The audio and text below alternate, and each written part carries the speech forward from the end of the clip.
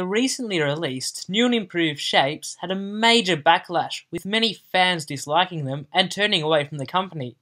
For a long time, Shapes have been the leading brand in the type of biscuits which I'm going to refer to as savoury snack bites. Just looking at the price for this market range shows this. While Woolworths Blast and Coles Barbecue Snack Bites are both $1.40 and Aldi's Snackos are a measly $1.29, Arnott Shapes are more than double this, with a $3 price tag. However, due to their popularity, people would still buy the original shapes over the alternatives in the market. I went out and compared the new and improved shapes with the originals and also the competition in the market on a scale of health star rating and crunch factor, and we can see that the shapes have been, and now are even more so, healthier than their competition. While the Aldi Snackos didn't have a health star rating, after looking at the nutritional information, I deemed them to be on par with the Blast and barbecue snack bites. However, in relation to crunchiness, the new and improved shapes were far softer than the rest of the competition, going down here while the rest of the shapes were up here. This could be a factor into the new and improved shapes being a flop. Now onto the flavour. Flavour is incredibly important for the savoury snack bite range, as shown by the packets. Snackos advertise the flavoured snacks and they push a tasty and full of flavour line blast scream out the bursting with flavour. Original shapes tell you that they have flavour you can see, or the new and improved shapes argue that they are now with more flavour. So as you can see, flavour is incredibly important with the genre. So, with flavour seemingly being this important in the savoury snack bite game, let's compare this with the rest of the market. So, as you can see, New and improved shapes have the most flavour compared to other brands. However, while the rest are mostly salty, the new and improved shapes have more of a sweet, sugary taste. This is completely different to the rest of the market. This could be why they are so despised by people who are a fan of shapes, because they break the expectations people have about them. Looking at savoury biscuit eaters in Australia, we see that amongst all ages, people eat savoury biscuits, with a majority aged, aged from 14 to 17 years.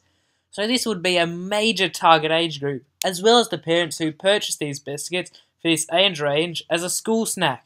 To do this, tactics must be used that will persuade this age range, like pushing the fact that new and improved shapes are the healthiest of their kind, sustainable, and not have now have no flavor enhancers.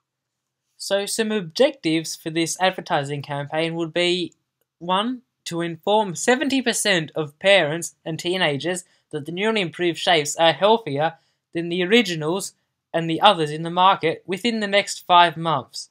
This would appeal to parents who buy food for their children's school lunches as they would want healthy snacks for their kids also, in recent times, people have been more concerned for their health, so this would be a major appeal to these people.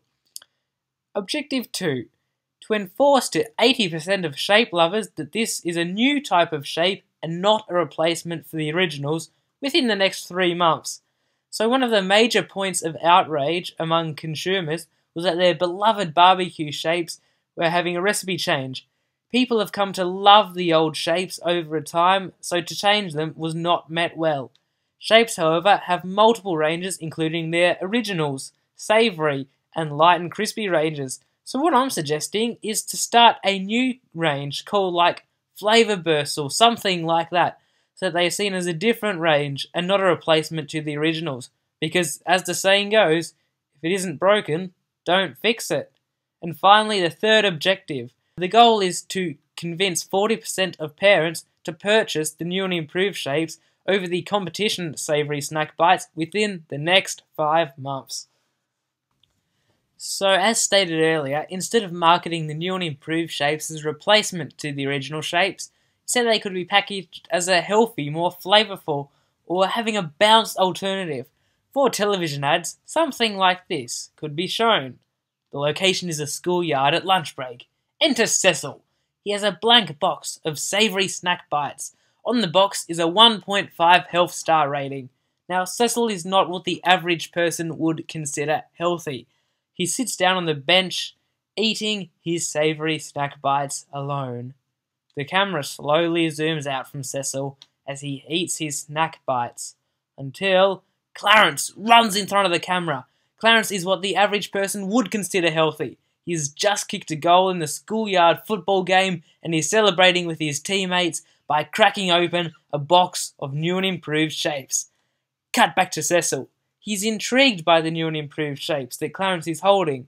He puts down his box of savoury snack bites and walks up to the group. Upon arrival at the group, Cecil asks Clarence if he can play, and Clarence says, sure, and hands him a new and improved shape. Cecil takes the shape, and upon eating it, power rushes through him. He looks tougher, he looks thinner, he looks healthier. The ball comes Cecil's way. He weaves it through the crowd and promptly kicks a goal, and then celebrates with the other boys and girls.